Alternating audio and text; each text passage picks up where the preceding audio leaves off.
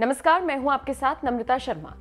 सड़क पर road accidents होना आम बात है। मतलब आप पिछले साल का, उससे पिछले साल का, या फिर उससे पिछले साल का रिकॉर्ड उठाकर देख लीजिए। एक एक साल में कई कई रोड एक्सीडेंट्स होते हैं।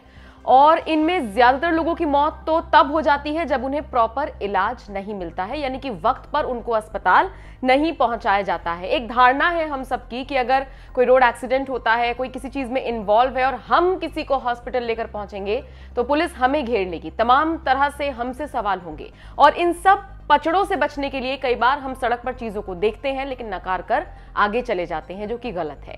आप इसे इंसानियत कह लीजिए या फिर किसी की मदद करना कह लीजिए कि ये काम आपको करना चाहिए, और इसी काम को करने के लिए अब सड़क परिवहन मंत्री लोगों को जागरूक कर रहा है। कैसे जागरूक कर रहा है? मान लीजिए आपने देखा कि किसी का रोड एक्सीडेंट हुआ है, कोई सड़क पर गिरा पड़ा है, किसी को चोट लगी है।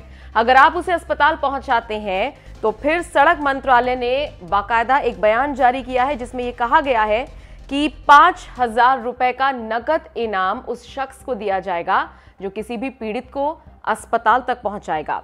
बता दें आपको, सड़क परिवहन और राजमार्ग मंत्रालय ने सभी राज्यों और केंद्र शासित प्रदेशों के प्रधान सचिवों और परिवहन सचिवों को पत्र लिखा है, जिसमें कहा गया है कि ये योजना 15 अक्टूबर से शुरू होने जा रही है और ये 31 मार्च 2026 तक प्रभावी रहेगी। कुछ साल के लिए इसे आप ट्रायल समझ लीजिए डेमो समझ लीजिए, ऐसा इसलिए किया गया है ताकि लोग पहले जागरूक हो सके। और ये जो योजना शुरू की जा रही है, इसमें कितने लोग बढ़ चढ़कर हिस्सा लेते हैं? इसीलिए ये जो नकद राशि है, इसका ऐलान किया गया है। मंत्रालय ने सोमवार को यह बयान जारी किया, जिसमें कहा गया नेक मददगार को पुरस्कार देने की योजना के लिए दिशा निर्देश जारी किए गए। मंत्रालय ने कहा, इस योजना का मकसद आपातकालीन स्थिति में सड़क दुर्घटना पीड़ितों की मदद करने के लिए आम जनता को प्रेरित करना है। ज़ाहिर सी बात है ये एक बहुत बड़ी पहल है जो मंत्रालय की तरफ़ से की गई है। उम्मीद की जा सकती है कि ऐसे में लोग बढ़ चढ़ कर इसमें हिस्सा लेंगे, इस योजना के तहत। चाहे आप इसे फिर पाँच हज़ार का लालच कह लीजिए या फिर कह लीजिए कि लोगों के मन में एक जागरूकता आएगी इसको लेकर, और अगर वक्त पर लोगों को अस्पताल पहुँचाया जाएगा तो निश्चित तौर पर उम्मीद की जा सकती है कि उनकी जान बचाई जा सकेगी।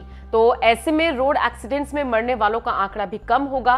तो ये जो योजना शुरू की है, सड़क परिवहन मंत्रालय ने, इसको लेकर आप क्या सोचते हैं? आपको लगता है कि ये प्रभावी साबित होगी? कमेंट करके अपनी राय हमें ज़रूर बताएँ।